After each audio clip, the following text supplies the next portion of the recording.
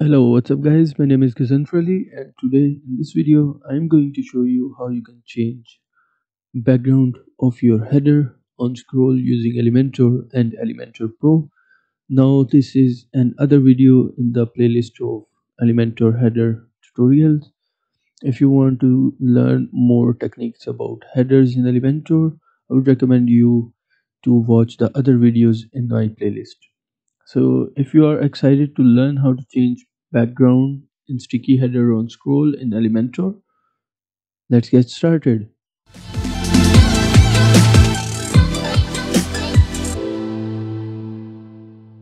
So the first thing that you need to do is to go to your dashboard.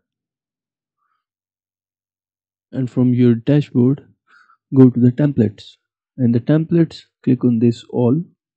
And from here click on add new and then click select header and name it as changing background color on scroll. And click on create template. Once you will click on create template elementor page builder will start loading. So once it will get loaded next thing that you need to do is to click on this plus icon and choose this two columns template. And from here click on this first column and edit column button and then choose a width of 25% and the second column will automatically become 75% of width. And then in here what I want to do is to drop the image widget. And in this image widget choose your logo. So in my case this is my logo. And in the second column I want to have the navigation. I already have navigation stylized in the header. So I'll quickly copy that navigation. And I'll paste that navigation in this header. So copy and paste it here. So this is not visible so let me add a background color. So now you can see we have navigation items with white background uh, with white text color and we have a logo the whiter version. And I'll align it toward the left like this. So next thing that you need to do is to add some padding on the top and on the bottom. So i'll add 1% padding on the top and 1% padding on the bottom. Once that is done the next thing that you need to do is to add some custom css now you do not need to understand the custom css i'll provide you a quick code snippet that you can use for this purpose. So i'll copy this code and i'll paste this goes code in here. Now when the next thing I need to do is to go to this motion effects and click on sticky and on the top. And for the offset effect offset I would like to keep it on 100 pixels. So now you can see we have a transparent header. Let me quickly remove the color now you can see we have a transparent header and when we scroll down we have a solid background.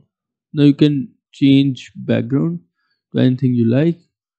If you go to advanced tab and custom css color here. So what you need to do is to simply replace this color code with your own color code. And if you want to change the menu text color change that menu text color here.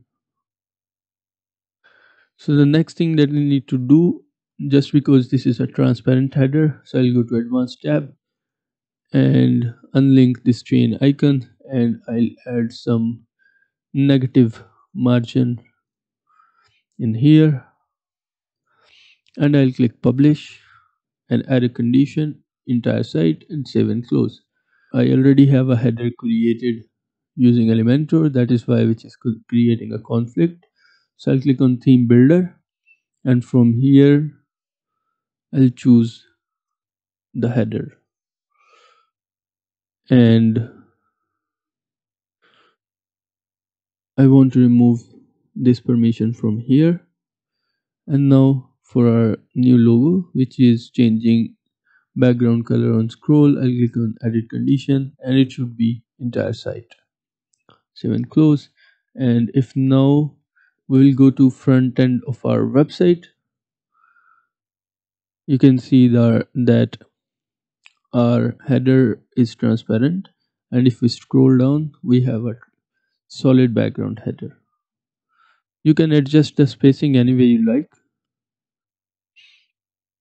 but you can see we have a white border above in here so we need to add some negative margin in the header.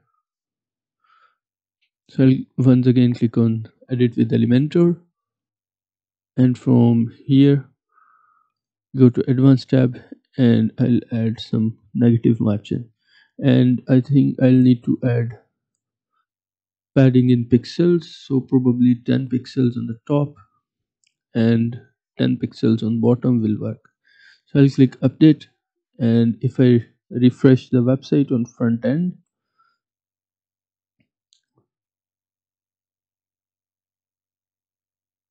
so I think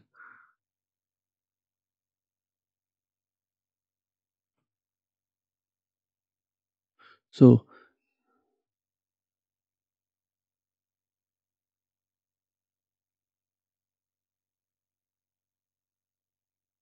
So if I refresh the website on front end now, you can see we have a transparent header and when we scroll down, we have a solid background. So this is how you can change the background on scroll and sticky header using Elementor and Elementor Pro.